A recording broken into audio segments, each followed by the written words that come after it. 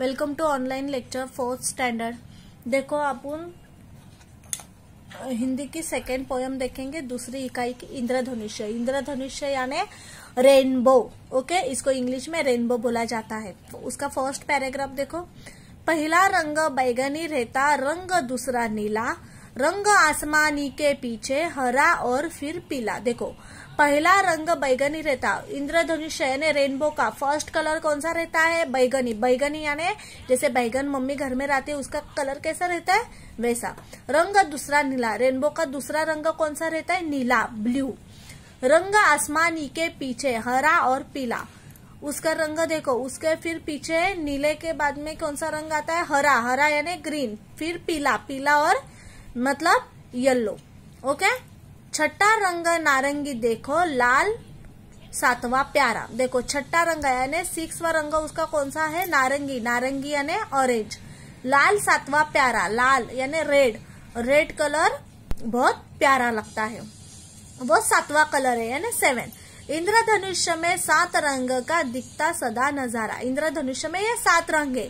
ये सात रंग का हम लोग को क्या दिखता है? सदा नज़ारा। देखो, मैं अभी काउंट कर रही हूँ। One two three four five six seven seven रंग के ये कलर रहते हैं। इंद्रधनुष्य यानी रेनबो के।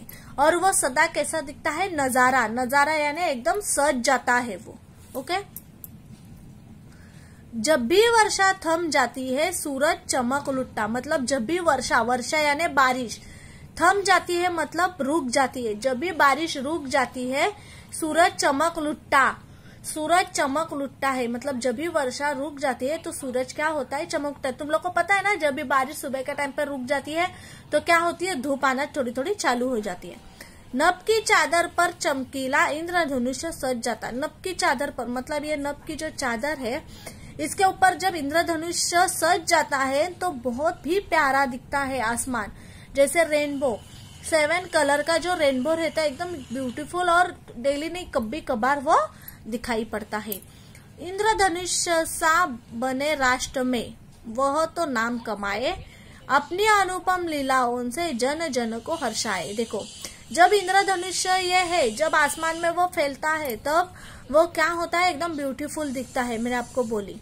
और इतना ब्यूटीफुल दिखता है कि उसने नाम कमाया अपन बोलते हैं रेनबो रेनबो रेनबो देखो ना कितना अच्छा है सेवन कलर रहते हैं उसमें ओके तो ये सेकेंड पोयम है, जो मैंने पहली इकाई का, पहली इकाई का, पहली इकाई की आपको पढ़ाई है इंद्रधनुष्य जो आपको ओरल में ये पोयम आएगी तो आपको ये पोयम आपको बाय हार्ट याद करनी है और आपके हिंदी के नोटबुक में लिखनी है ओके अभी सेकेंड पेज पे देखो, थोड़ा क्वेश्चन आंसर है।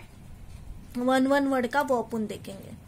देखो, उत्तर बताओ, यानी आंसर बताओ। फ़र्स्ट है, इंद्रधनुष्य के कुल रंग मतलब जो इंद्रधनुष्य है, जो रेनबो है, उसके कुल रंग कुल रंग यानी उसके टोटल रंग, कितने रहते हैं रंग? मैंने आपको कितने रंग पढ़ाए सात। सात है वो इंद्रधनुष्य सेवन रंग का रहता है ओके सेकेंड देखो, इंद्रधनुष्य यहाँ दिखाई देता है। मतलब रेनबो कहाँ दिखाई देता है हम लोग को? आसमान में, है ना? ज़मीन पे दिखाई देता है? नहीं। आसमान में दिखाई देता है ओके थर्ड देखो, इंद्रधनुष्य का पहला रंग मतलब रेनबो का पहला रंग कौन सा है? बैगनी ओके जैसे मैंने स्टार्टिंग में आपको बताई थी। सेकेंड देखो, चमक लुटता है। चमक कौन लुटता है? सूरज। जैसे मैंने आपको बोली थी कि वर्षा जब थम जाती है तो सूरज चमक उठता है। सेकेंड देखो, सज जाता है। कौन सज जाता है? इंद्रधनुष्य, जब आसमान में आता है तो वो सज जाता है। ओके तो ये आपको नोट्स बुक में लिखना है। प्लस मैं इसके नोट्स भी आपको व्हाट्सएप पे दूँगी। तो आपको उसके नोट्स क्वेश्चन आंसर और फिलअप वगैरह लिखना है ओके और जो ये मैंने जो सेकंड पोयम आपको पढ़ाई थी इंद्रधनुष ये आपको बाय हार्ट याद करनी है। मैं कभी भी आपको ये मतलब ओरल में आपको ये बिना देखे आपको ये पोयम बोलनी है ओके आई होप कि आपको ये पोयम समझ में आई होगी।